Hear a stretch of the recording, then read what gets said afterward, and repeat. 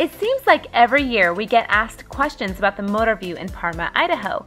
This has been a tradition with our kids since they were little, and we go at least once every summer, sometimes even a few times.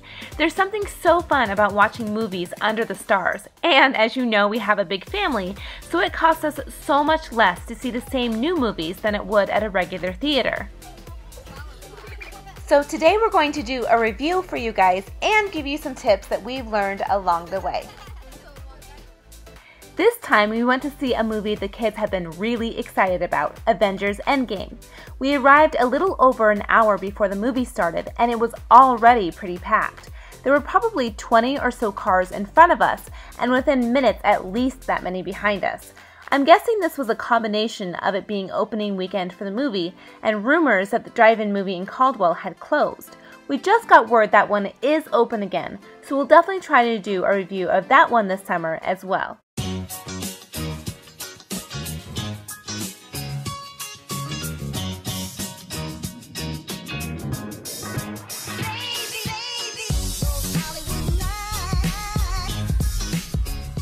Okay, a couple tips for you guys.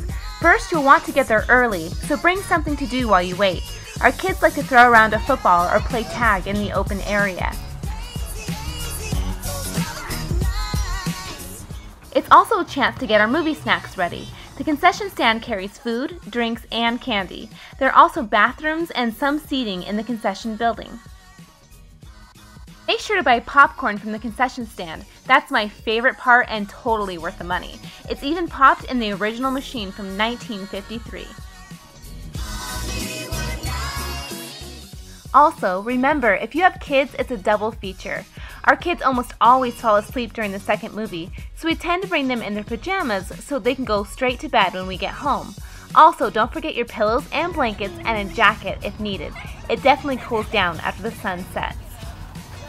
You may notice the yellow poles you park between. This is where the speakers used to hang until 1977. Now everything is done through your car radio. Just make sure to unplug everything and turn off your dome lights so you don't end up with a dead battery. But don't worry, they do have a portable charger at the concession stand, just in case.